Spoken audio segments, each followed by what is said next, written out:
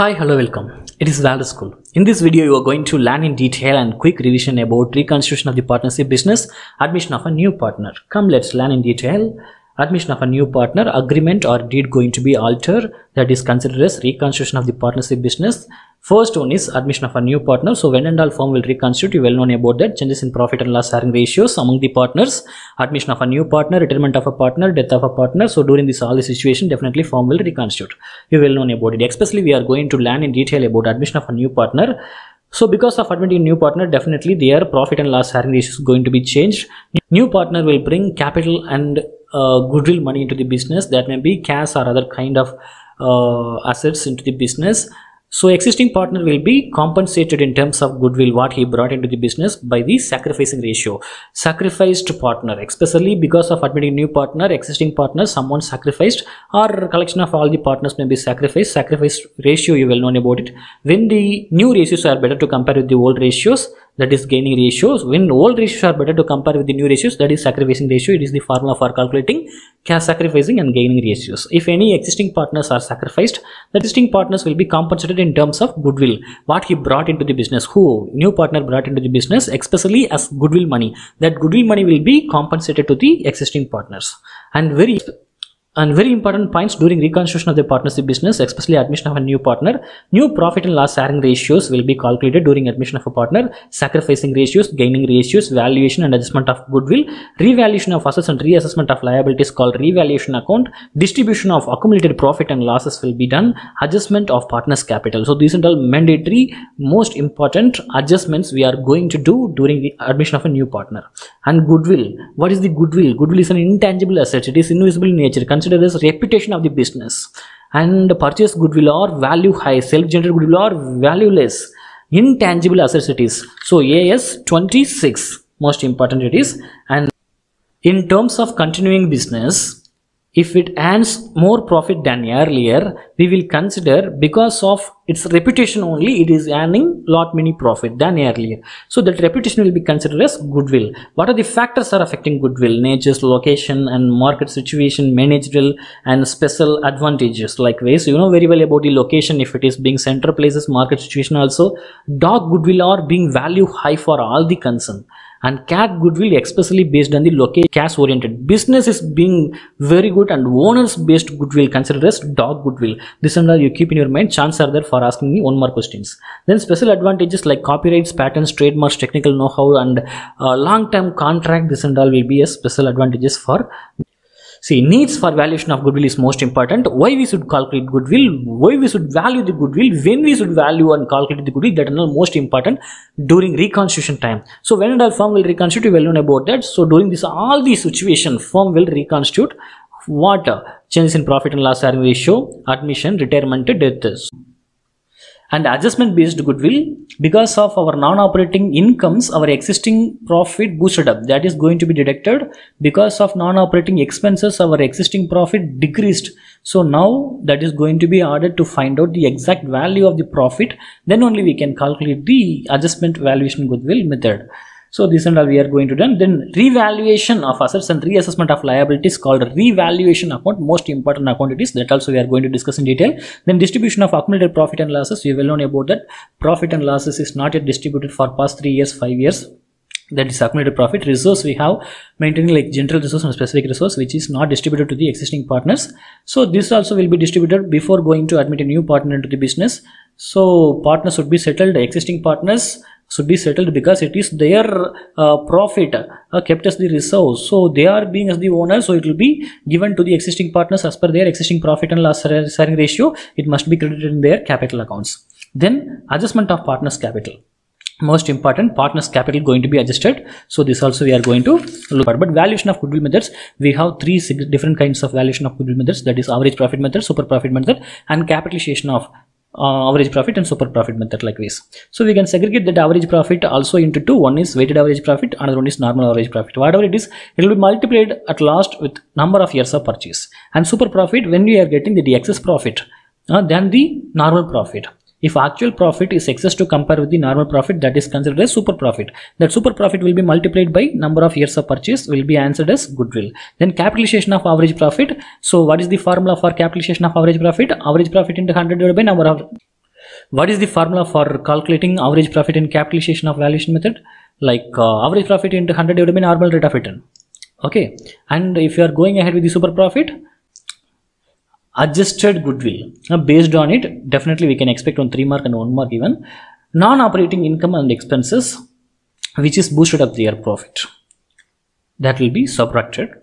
And which is depromoted the profit that will be added. To get the exact amount of profit then we can calculate the goodwill.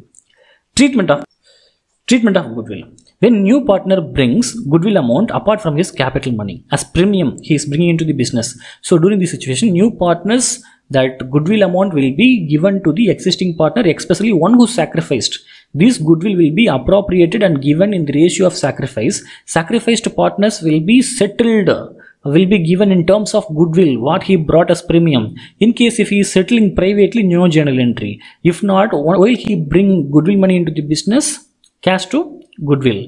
Otherwise if he, if it is and when they are sharing to the partners. So partners capital account going to be credited and debiting the goodwill or cash. When the existing partners are credited and they withdrawn immediately. So partners capital account going to be debited and uh, cash or bank account going to be credited. Sometimes partners may decide to withdraw only 50 percentage of the goodwill. So 50 percentage amount will be entered but journal entries are same. Existing goodwill existing goodwill if anything is available in the books of accounts in the balance sheet. What will what should be done? By debiting all the existing partners all the existing goodwill will be given. So by debtor uh, existing partners capital account debtor to goodwill it is the journal entry. Then new goodwill. What comes into the business that will be given to the sacrificing partner as per their sacrificing ratio.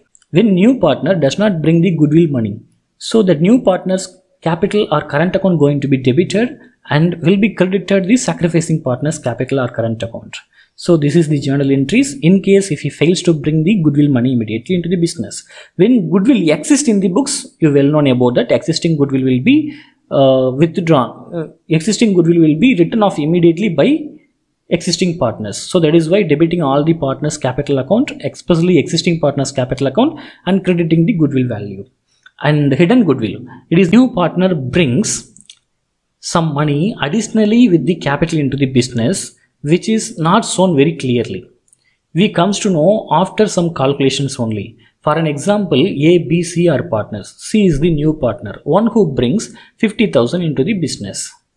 But they didn't mention explicitly about goodwill this much he brought into the business. So in this case, 50,000 what is their proportions? That proportion will be checked out. If he is expecting 1 by 3 in the future profit so 1 by 3 is equal to 50000 then firm's uh, total capital will be 1 lakh and 50,000 because he is expecting 1 by 3 1 by 3 is equal to 50,000 means definitely it will be around 1 lakh and 50,000 firm's capital. Then we are adding all the existing partners capital with the new partners capital. A is maintaining 45,000 B is maintaining uh, 40,000 so 45 plus 40 how much 85,000 85 plus 50 85 plus 50 around how much? 1 lakh and 35,000 only. But actually how much should be maintained as partners capital totally? 1 lakh and 50,000 but now 1 lakh and 35 only. 15,000 remaining. That 15,000 will be considered as firm's goodwill. So he is expecting 1 by third. 1 by third of 15,000 will be 5,000 this 5,000 will be considered as goodwill what he brought apart from his capital into the business so these and all mandatory. It is considered as hidden goodwill. Adjustment of undistributed profit and losses. Most important it is adjustment of undistributed profit and losses to the partners. It may be accumulated profits, accumulated losses, accumulated profit will be credited to the partner's capital account. Accumulated losses will be debited to the partner's capital account. Sometimes reserves general reserves or specific reserves.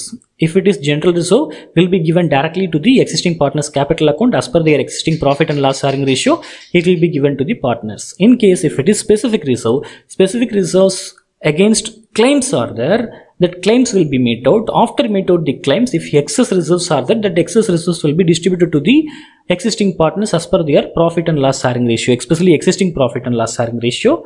So that is mandatory. Then revaluation of assets and reassessment of liability called revaluation account. Revaluation account is most important account. This will be asked in uh, 6 mark account, 6 mark.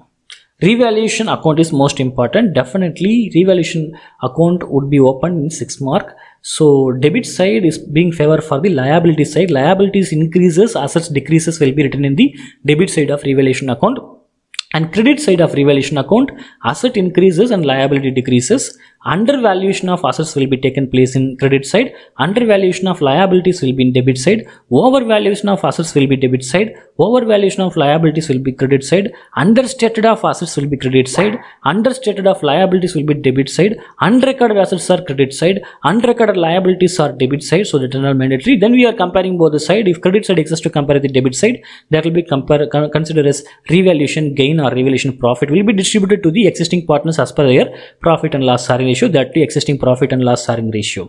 In case debit side are access to compare with the credit side that is considered as revaluation loss loss also will be distributed to the partners especially for existing partners in their existing profit and loss sharing ratio. This and is adjustment of partners capital account based on the new partners capital account existing partners capital going to be adjusted. That is considered as adjustment of capital method. For an example if new partner c ABC are partners, AB are existing, C is the new one who is bringing 20,000 and he is expecting 1 by 4 of future profit. So 20,000 he is bringing as capital into the business. So 1 by 4 is equal to 20,000 means 4 by 1 will be 80,000. A and B already sharing their profit and losses 2 is to 1. So now new profit would be 2 is to 1 is to 1. So in this sense, A might should have or double of C's money. So C brought 1 by 4 he is expecting. He brought 20,000 into the business which means A would maintain 40,000 okay if A is maintaining 45,000 5,000 he can withdraw. If A is maintaining only 35,000 he must bring 5,000 into the business. So here partners going partners capital going to be adjusted. That is considered as adjustment of partners capital account Changes in profit and loss sharing ratios among the partners. A, B, C are partners. A is being as the active partner. He is unhappy about the profit and loss sharing ratios what they are maintaining earlier because A is being as an active partner and he is doing entire work of the business. He is being as the managing partner also. He requesting uh, for all the other partners to change their profit and loss sharing ratios. They are giving favor sent for the A. So they are changing their profit and loss sharing ratio. Here no admission, no retirement, no death, nothing happened. But profit and loss sharing ratios are altered. So deed will be altered based on the profit and loss sharing ratio. It is being as reconstitution oriented. That is why this change in profit and loss sharing ratios among the partners. And proportionate method oriented this is most important. Definitely on six mark questions will be asked based on proportionate capital method or based on profit and loss sharing ratios among the partner. Changes in profit and loss sharing ratios among the partner. From these two definitely one question will come for six mark based. You be concerned you practice lot, many questions based on it so proportionate method means we are doing the calculation uh, like uh, revaluation account and partners capital account. In partners capital account especially for the existing partners alone we are doing everything. Here in the adjustments they would be given about the new partner. He will bring necessary amount of capital and goodwill into the business in the future. So that has been given in our adjustment. Apart from that nothing has been given about the new partners information and all. So now we are going to calculate that revaluation account.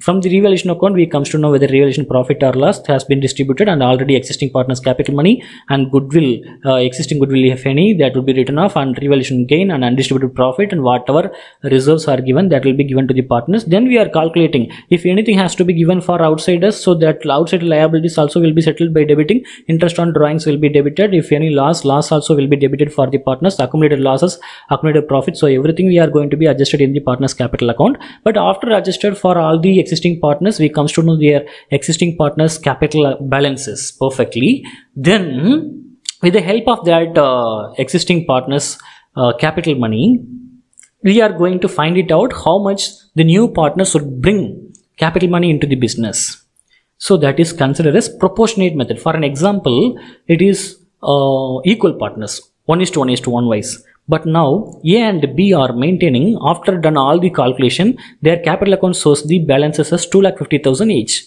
So now 2 by 3 of the firms is 5 lakh. So how much 3 by 3 of firm's capital will be how much 7 lakh 50,000. Now C must have to bring 2 lakh 50,000 capital into the business. This is considered as proportionate capital method. Very important method it is. Just you practice lot many questions based on it. Proportionate or changes in profit and loss sharing ratios among the partners. From that we can expect any one question. Thank you.